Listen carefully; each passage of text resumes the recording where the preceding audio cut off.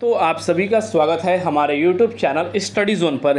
दोस्तों एनटीए द्वारा JEE Mains session two की आंसर की को लेकर दोस्तों, यहाँ पर एक बहुत ही बड़ी अपडेट निकल कर आ रही है, क्योंकि फाइनली एनटीए द्वारा अनाउंसमेंट आ चुकी है कि जो जेई मेंस की फाइनल आंसर की है, वो यहाँ पर कब तक जारी कर दी जाएगी, पूरी इन्फॉर्मेशन मैं आप सभी को देने वाला हूँ। साथ ही दोस्तों, अगर आप हमारे चैनल स्टडी जोन पर पहली बार विज़िट कर रहे हैं तो ज़रूर सब्सक्राइब कर लीजिएगा, क्योंकि काउंसलिंग को लेकर हर एक अपडेट आप सभी तक शेयर की जाएगी। तो चलिए दोस्तों, बात कर लेते हैं, क्योंकि लाखों उम्मीदवार की कंफ्यूजन है कि आखिर जो जई मेन सेशन टू की जो फाइनल आंसर की है, वो कब तक आ जाएगी।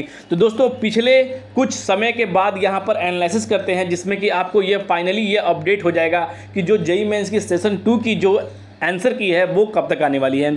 पिछली बार की एग्ज़ाम के अकॉर्डिंग अगर बात करें तो आप सभी की जो एग्ज़ाम है वो यहाँ पर 24 से 29 तक हुई थी, जिसको लेकर एनटीए द्वारा आप सभी की जो फाइनल आंसर की है, वो यहाँ पर दो तारीख को जारी कर दी गई थी। और इस बार की जो एग्ज़ाम कंडक्ट हुई है, यानी कि जो जो सेशन टू की जो एग्ज़ाम कंडक्ट हुई है, वो पच्चीस से तीस तक हुई है। जिसको लेकर आप यह मान सकते हैं कि एग्ज़ाम होने के बाद तीन से चार दिन का समय एनटीए लेता है, जिसके बीच अगर हॉलीडे ना पड़े तो। जिसमें कि इस बीच हॉलीडे भी पड़ी, जिसको लेकर यहाँ पर एनटीए उस चीज़ के वजह से डिले हो गया है। और फाइनली जो आप सभी की आंसर की है, वो यहाँ पर तीन या चार अगस्त तक फाइनली जारी कर दी जाएगी। पर दोस्तों, मीडिया रिपोर्ट के अनुसार क्या जा रहा है, वो भी मैं आप सभी को बताने वाला हूँ।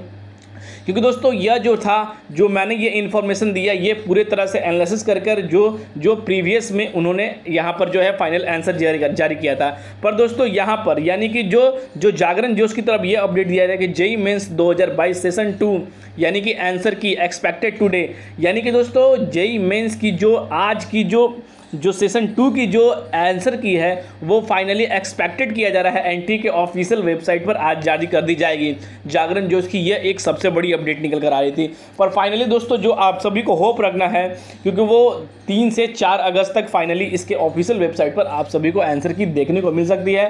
पर दोस्तों, अभी तक आज जो है आने की बहुत ही कम चांसेस है। पर दोस्तों, जागरण जोश ने ये अपडेट किया है तो उन्हें कहीं ना कहीं से ये चीज़ की अपडेट मिली होगी। एनटीए द्वारा तभी इन्होंने ये आर्टिकल लिखा है।